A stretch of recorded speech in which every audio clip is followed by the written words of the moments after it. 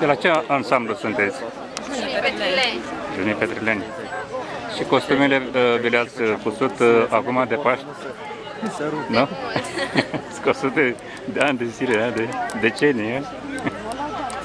Din ce se compune un costum din acesta? Facem pe... Ce să fie?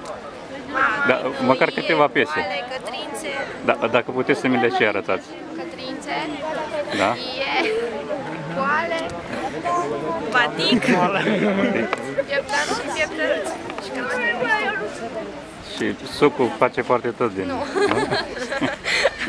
Este din afară. Ca din avară. Dar cine e șeful?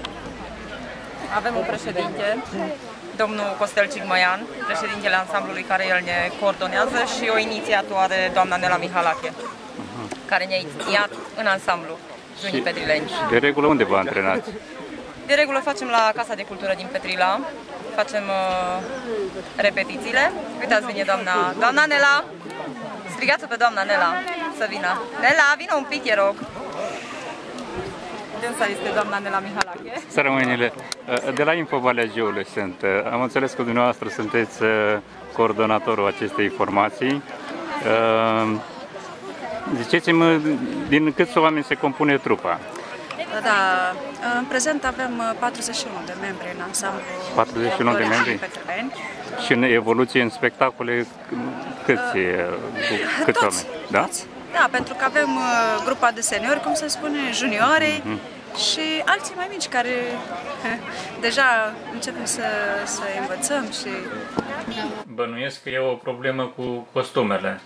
Pentru că în ziua de astăzi prea puțin se mai coase așa ceva, fiind o muncă foarte grea da, în e realizarea adevărat. unui costum. E adevărat, dar... Cum vă descurcați? Uh, uh, cum să vă spun, toți membrii ansamblului care avem la ora actuală au costumele lor proprii.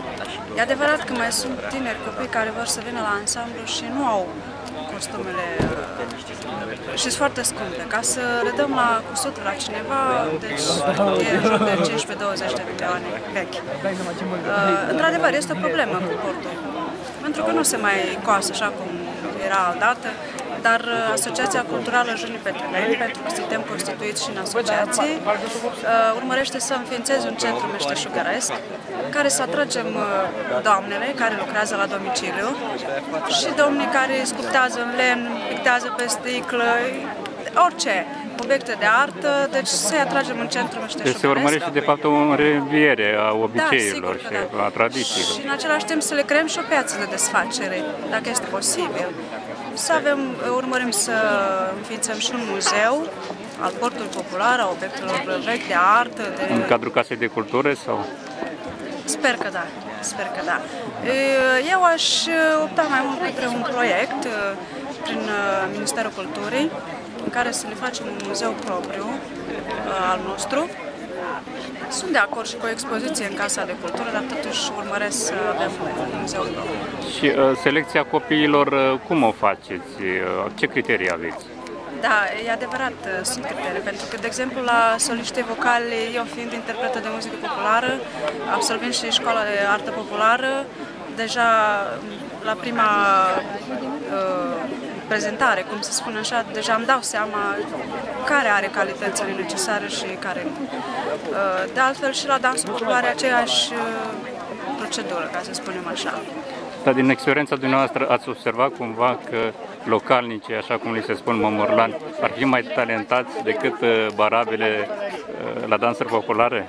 Da, Sunt e așa? adevărat, pentru Au în că- sânge. Deci și eu au în sânge, e adevărat, să știți că și eu sunt... Au o- ritmul. Eu sunt moldoveancă de origine.